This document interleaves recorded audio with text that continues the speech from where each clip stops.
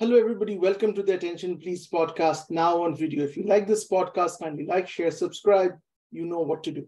So, for those of you who follow my podcast on video, you will notice that this is a different room from the one where I usually record. Um, all the all the action figures are gone, and that's because I'm in a new house. I've, I've changed house. I, I used to rent all my life. I've bought a new house. So this is the new house, and obviously we haven't moved in properly.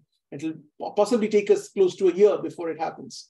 So this is the way it's going to look for, for some time before I, and, and we, I'm going to change room. This is not the room where I hope to continue the podcast. But for now, this is the temporary, this is the temporary, it's a kind of a side closet. This is like a huge side walk-in closet that I'm currently in. And um, so that's that's the reason why it's kind of bare and why there is like stuff behind. So for those of you who listen to this podcast as podcasts are supposed to be, you won't notice the difference. So today I'm going to do a review of Lust Stories Part 2 on Netflix. Uh,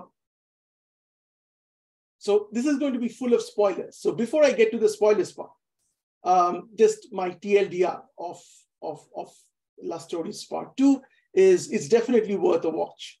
Um, it is definitely worth a watch for those of you who are interested in, in the concept of lust, lust as distinct from love um, I think that the quality of Netflix India programming is very poor. It's very poor.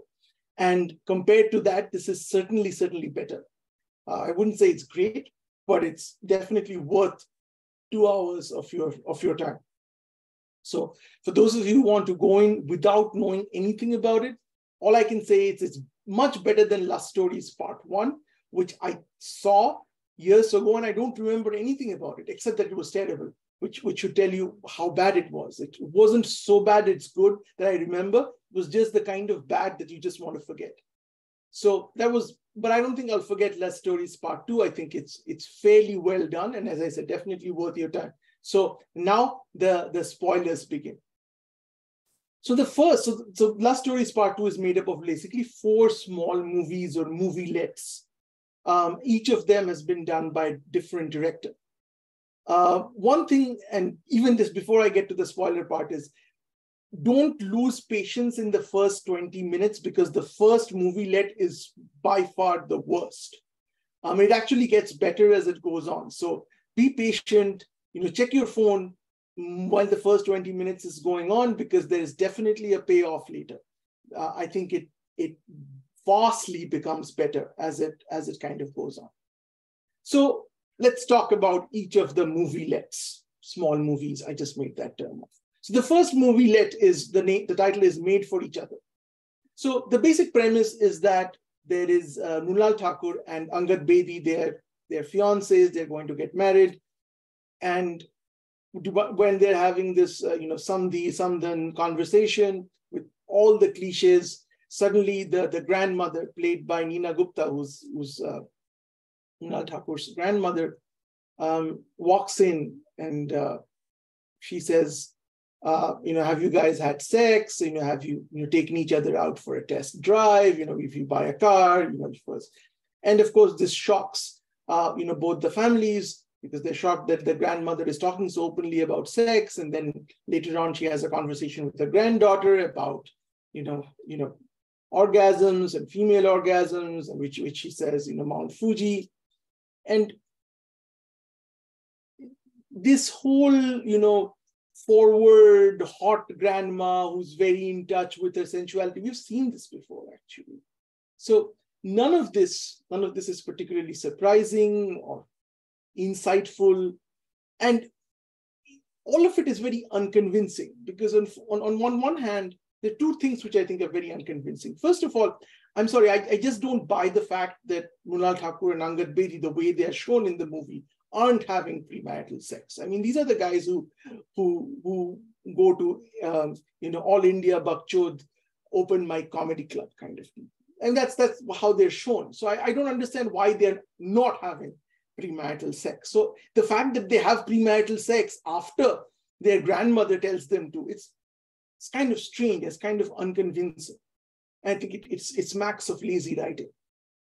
There's also this this kind of sub story which is not developed is that you know the the the father of Mrunal Thakur, who's, who's the son of the of the forward grandma, that he's also his his marriage is also kind of sexually cooled down. They don't have sex anymore, and she also the grandmother also points that out. And at the end, they're kind of you know the the the husband and the wife become warm, and it's it's kind of half baked. Nobody understands why, what what happened. You mean they just he just needed his mother to to say this. It was all very strange. It was all very strange and strange in a bad way. And the, the most important thing was Nina Gupta. So first of all, Nina Gupta is a great actor, and, and she does very well in, in, in the movie. There's nothing that, that you can fault her on. But why is Nina Gupta playing a 75 year old or a 70 year old grandma? I mean, this is, we, we on one hand, we're talking about a new progressive Bollywood where there are roles for women which are appropriate for their age. Like just as men, like Akshay Kumar still plays a college kid. We all know that, that that's a problem with with, with, male characters, that male characters never grow old. Everybody plays a college kid or like a 30 year old now. But with women, it's been the, the, the opposite. After a certain age, they're all promoted to either a Bhabiji or an Aniji. So I am surprised that Nina Gupta, who's definitely not, you know, that age is being, she, she has like white hair. She's, I mean, what, why is Nina Gupta playing that? I mean, she's a good actor, but I think I mean, again, it, it was part of the, it was, it was part of how badly Art Val, Val I, I, hope I'm pronouncing his name right. He's, he's the director of Chini. It was just, it was just basically at the level of most Netflix content. Was terrible. The second one, and, I, and the only reason why I kind of sat through was that I'd heard a good review about the next one, which uh, was uh, The Mirror, directed by Konkona uh, Sharma. And um, I was I was looking forward to seeing it. And, and again, um, I heard a lot of good things about it, but I didn't quite like it that much because, and I'll, I'll, I'll, I'll tell you why I didn't like it. So unlike the first one, Made for Each Other, it had a very interesting premise. Um, it was not something which I was expecting. So for those of you who've seen it, again, you know what it is. You know, there is uh, there's there's this character who's like a, a, a professional woman who's single and and, and, and who comes home and, and finds the housekeeper in bed in her empty apartment with someone she I, I don't think she doesn't she doesn't know who, who it is. It's it's her husband. So the housekeeper who lives in a chawl has, has a lot of kids and you know it's crowded. So in order to for her to have uh, you know conjugal relations with her husband, they sneak up into her employer's apartment when it's empty and she's she's doing it. When her employer comes in, and obviously, um, she's shocked, and the employer is played by Tilottama Shome, who's, who's, obviously a very good actor, does an excellent job in her facial expressions when she first comes in, sees them, and, and it's all the camera is fully on her face, and that's the, that that's that that's that's good director. I mean, that's Konkona Sharma being, you know, Death in the Gunj showed that she's a very good director, and, and she continues. I just wish she made more movies. Um, so Tilottama Shome is very good here and she she she plays this this kind of uh, you know professional, strong professional woman at work. She's single. It's obvious she's very busy. She doesn't have any time. I'm, I'm guessing time to have relationships. Again, they don't show any of that. And then she comes in, and and then, then she kind of gets this voyeuristic. Uh, uh, you know, first of all, she first watches kind of like, oh my God, I have to see this. What are they doing? And then she realizes that it's turning it on. Um, and they kind of Mm, she doesn't tell the housekeeper anything. Um, initially, she was thinking of firing her on the spot, but she doesn't tell her. And then she kind of sneaks in, you know, kind of sits there and starts watching and, and, and, and, and they show her basically masturbating also while she watches um, uh, the housekeeper and her husband. And here's where I think the thing goes off the rails, in my opinion, is that till now it's fine. And I think this is where they should have just stopped. Um, and, and, the housekeeper also comes to know um, that she's being watched.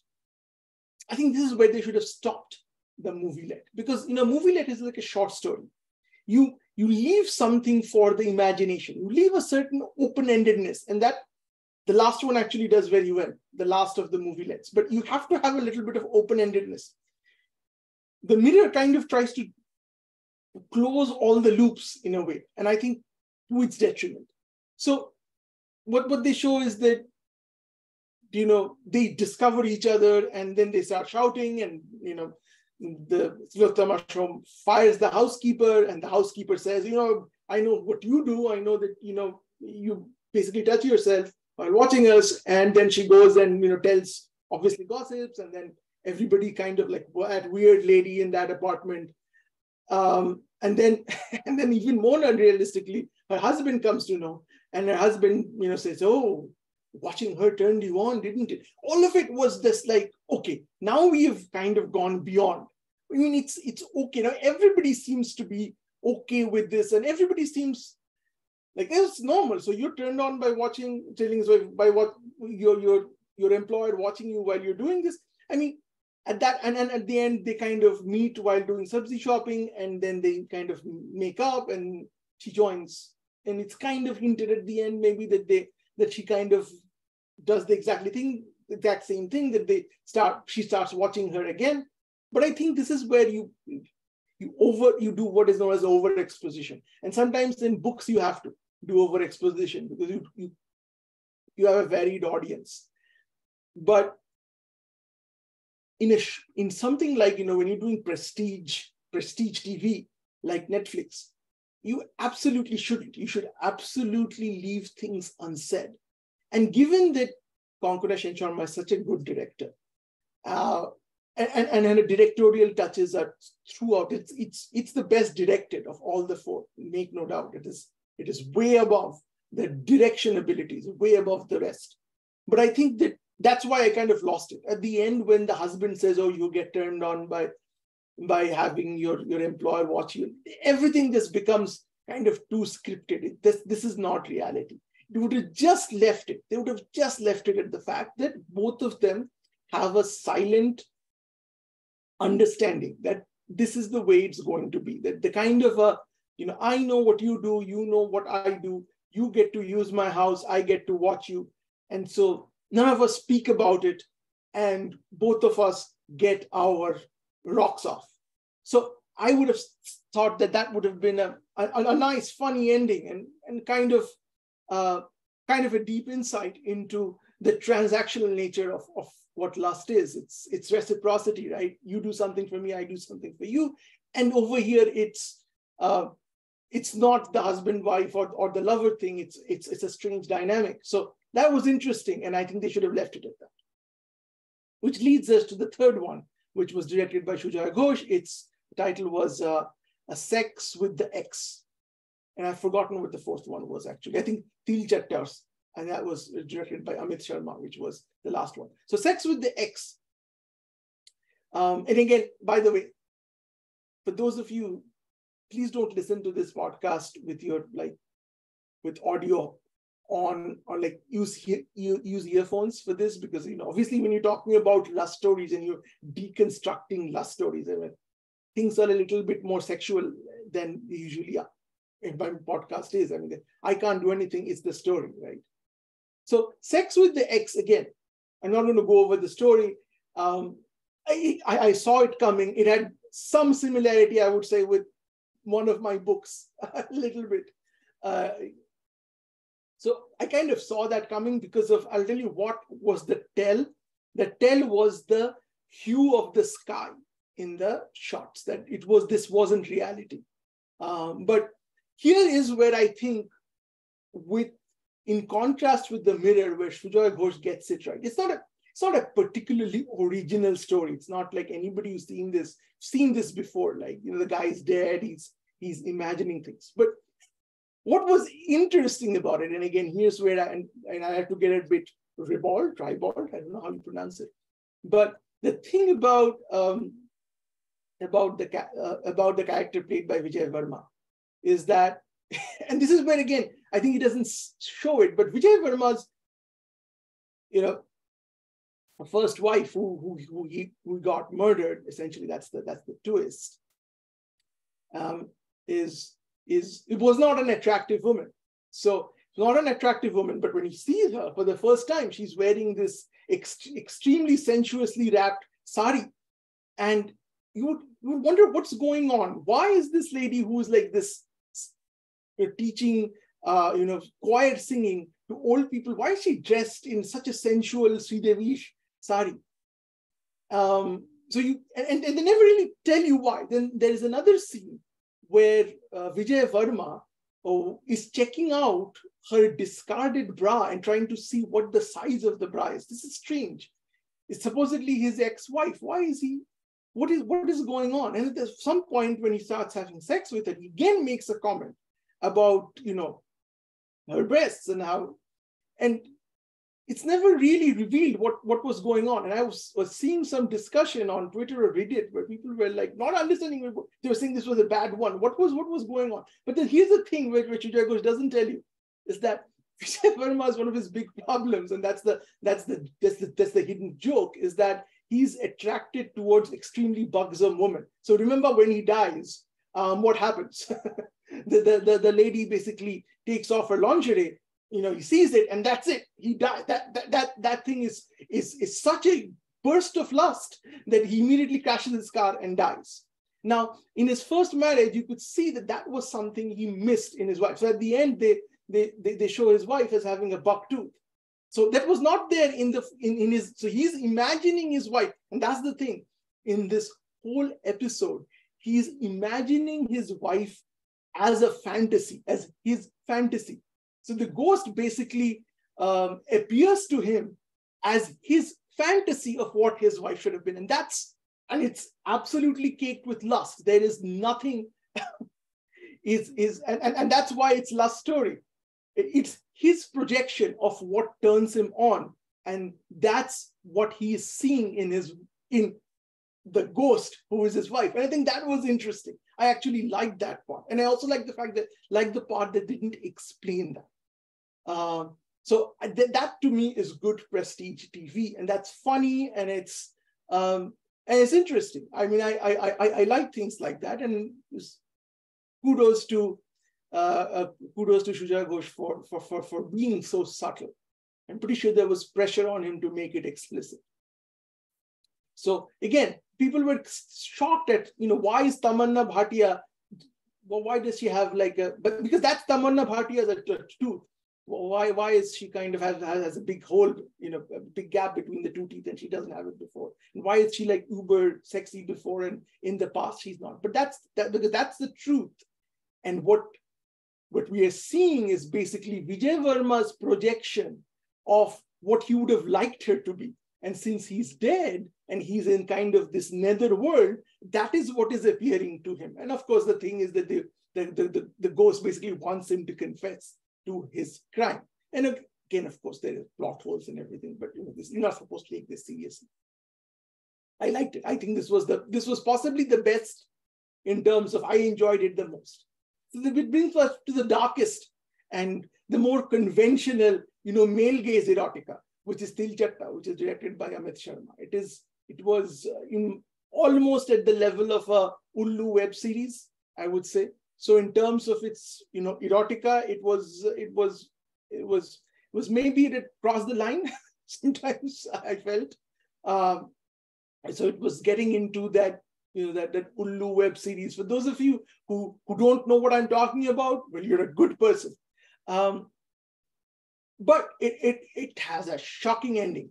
it has an absolute shocking ending, um, where where of course Kajol, you know, finds out that it's her son who's had, uh, not her husband, who, who she's kind of setting up to have, have sex with somebody who's carrying a deadly disease. It's not him, but her son, who, who kind of is there, but she doesn't see him as like somebody who would be a target. And she sets it up beautifully, but she just forgets one little thing. And again, I think um, this suffers from, again, the first place where I say it suffers from miscasting. I mean, I used to be a huge fan of Kajol. So when I say this, I say this with the sadness of an, you know, of a fan, a real fan. I used to have my Kajol poster in my computer. There was only one poster, it was of Kajol. So I was a huge fan of Kajol. But Kajol isn't a good actor. I mean, now I realize this. Um, my um, uh, my love for Kajol in the 90s was not driven by her acting abilities. Okay. Uh, and I didn't realize it then. I used to think she was a good actor, but now I realize, oh, not, maybe she's not a good actor. She's not really a good actor. And I think it shows also here. She's somehow not convincing in that role. I, I think that she's miscast. Um, even in that milieu, in that kind of, you know, Uttar Pradesh, you know, old feudal lord who like basically has considers all women to be his in his kingdom. He can do whatever he wants and nobody will stop him. I mean, Kajol just doesn't just doesn't seem to be a fit. Everybody else looks to be a fit, but she doesn't look to be a fit. And sometimes it's not just a, the physical fit; it's also the acting and the way she comes across. And she just doesn't. She just doesn't. She just seems to be Kajol. That's it. And I think that was the problem with Tilchatta. I, I don't know what the obligation was to cast her in that role. I, I'm pretty sure there were a lot of other people who would have done much better in the role. Tabu, for instance, would have been perfect in that role. Um, but I that was the only thing that brought me out. But as a story, I think it was the best story of all of them. Um, I think the surprise, the, the twist at the end was very well done. You don't see it coming. Uh, and, and, and, and I really liked the way it ended. And I think that was what what Love Stories 2 was about. I, I, I think that the last, even the, the, the, other than the first one, I think all of them are definitely worth watch, worth a watch. I mean, my my my criticism of the second should not be taken very seriously. It's okay, it's good. It's just that I expected a little bit more from Konkona, and I think she'd almost nailed it, but I think she just like added 15 minutes to the end, which she absolutely didn't. She could have stopped. There was even a scene where I would have told I would have expected it to stop. I was expecting at that point of time the transition to the next to come, and I would have said, wow, but it kept on continuing. and that was when I kind of got out of it. So again, well done. Uh, I think this was this was good content from Netflix, and you know I, I, I hope to see them doing more of this. I mean, I've always been very disappointed by the stuff that Netflix India puts out. And, and the reason why they put out, I think, is again things that I've talked about before, that that these that Netflix and basically all of these OTT platforms are, are basically a revolving door for people who work in the big you know, Dharma productions and other places, all, all the big studios. And so they basically focus only on the big names and they also want to be in their good books. So that's why you know original storytellers people who you don't who not big names um, like for instance archie you know that that monstrosity i mean when the trailers what, what, what the hell is going on but no problem you know getting getting top billing in an ott no problem because of the names associated with the project. I mean all all nepo kids basically. So unfortunately and this is not the way netflix in the us works or amazon prime in the us works but this is a particularly indian thing. I mean ultimately they are all indian employees. So that's the way it works there. So that's why netflix content particularly has been terrible i think. Uh, but i think this is this this was one of one of the better ones. It could have been better but in conclusion i would say that you know when net love, love stories 3 comes out maybe three or four years down the line i'm not going to start with saying I've forgotten what Love Stories Part 2 was. No, it was it was definitely worth remembering.